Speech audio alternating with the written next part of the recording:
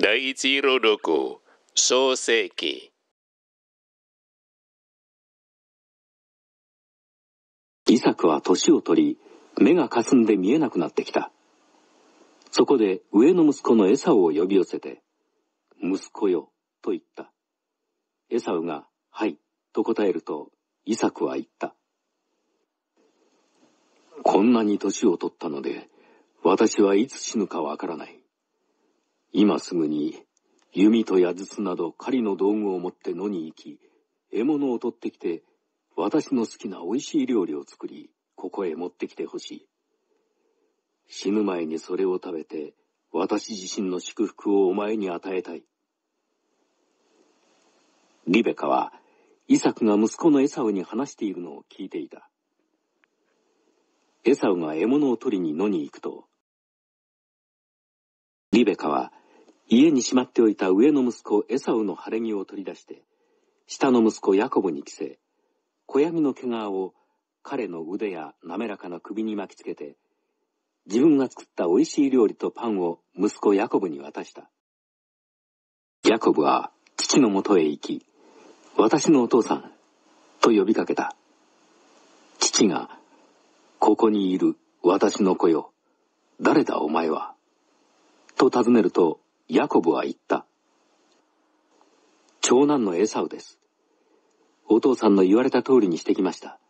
さあどうぞ起きて座って、私の獲物を召し上がり、お父さん自身の祝福を私に与えてください。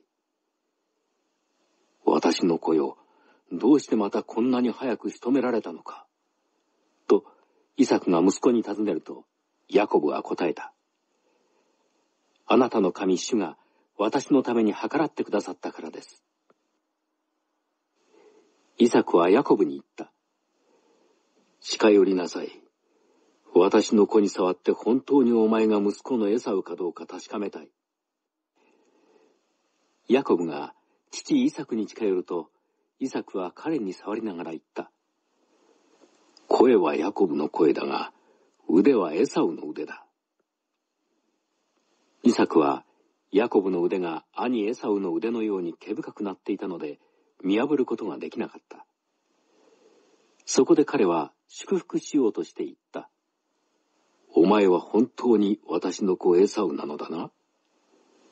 ヤコブは、もちろんです。と答えた。イサクは言った。では、お前の獲物をここへ持ってきなさい。それを食べて私自身の祝福をお前に与えよう。ヤコブが料理を差し出すと、イサクは食べ、ブドウ酒を継ぐとそれを飲んだ。それから父イサクは彼に言った。私の子よ、近寄って私に口づけをしなさい。ヤコブが近寄って口づけをすると、イサクはヤコブの着物の匂いを嗅いで祝福していった。ああ、私のこの香りは、主が祝福された野の香りのようだ。どうか神が、天の露と地の生み出す豊かなもの穀物と葡萄酒をお前に与えてくださるように。多くの民がお前に仕え、多くの国民がお前にひれ伏す。お前は兄弟たちの主人となり、母の子らもお前にひれ伏す。お前を呪う者は呪われ、お前を祝福する者は祝福されるように。神の御言葉、神に感謝。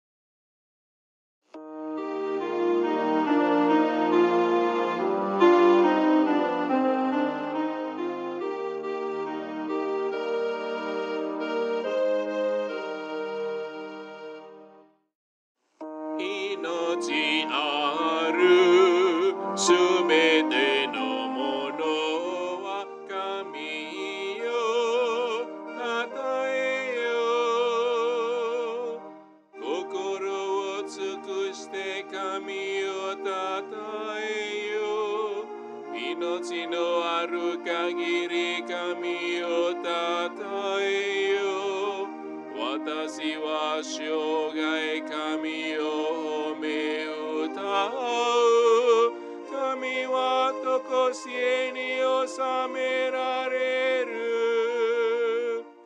命あるすべてのものは神よ。たたえよ。ヤコブの神よ。助けとし神に希望をかける人は幸せ。神は天と地を作り海とそこにあるすべてのものを形作られた。命あ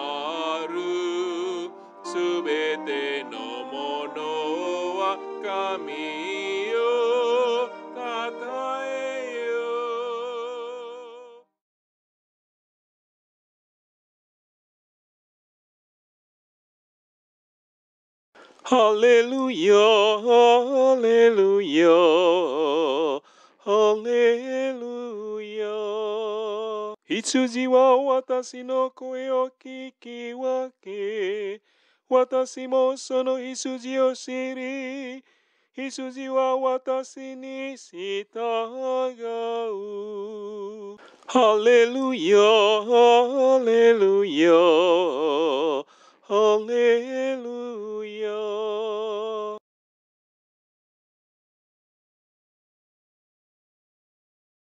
マタイによる福音。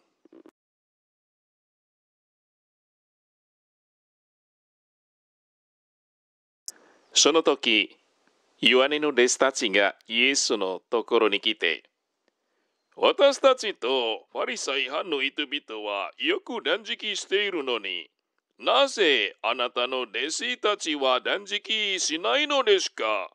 と言った。イエスは言われた。